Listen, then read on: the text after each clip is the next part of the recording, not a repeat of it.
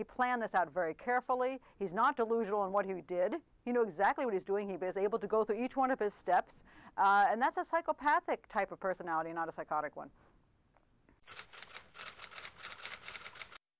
I believe this young man probably started down a very sad path early on when he was a child because psychopaths develop very young. They start uh, failing in society, not doing, you know, getting along, not having successes in perhaps social life, family life, and, and they're just they're not getting the feedback they want. So after a certain point in time, they, they withdraw. Some of them become um, very manipulative. They lie.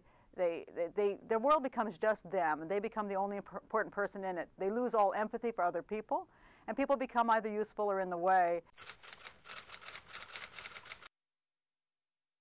My guess is this plan had been brewing in his head for quite a long time. It probably, it just increases and increases and increases. In other words, you start with a small idea as you start your anger and your hatred starts growing, and then you say, what feels good to me? So you focus on a violent ideation. You start practicing your writing. You, you, you check out all kinds of scenarios, and you see which one feels better.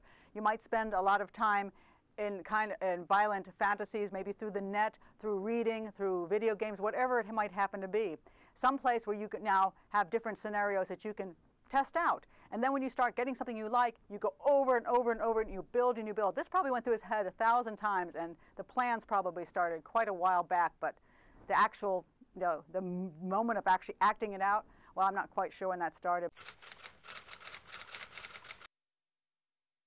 You see a quiet man who's a little strange, uh, withdrawn, doesn't want to talk, I mean, the most you can do is try to be friendly and just see if he's a nice guy who, who's, who's sad and lonely.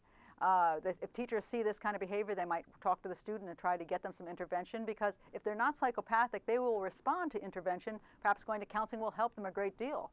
But if you start seeing psychopathic behaviors, those are more concerning. They do not respond to counseling because psychopaths don't, don't, don't get help by counseling. They're, they're a done deal by the time they're eight, nine, ten years old.